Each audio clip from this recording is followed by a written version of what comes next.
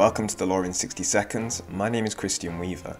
Today we're talking health and safety in the workplace. All employers have a duty to look after the health and safety of their employees. In the UK, there are a vast number of statutes, regulations, codes of practice, and cases concerning health and safety at work.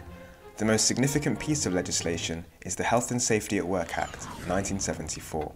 Employers have a duty to ensure, so far as is reasonably practicable, the health, safety, and welfare of employees. This duty requires employers to, among other things, provide a safe system of work and a safe place of work. This duty extends to any contractors working on their site too. Employers must carry out risk assessments and then take reasonable steps to prevent any identified harms. They should also consult staff on any decisions that involve health and safety and provide understandable information on safety arrangements.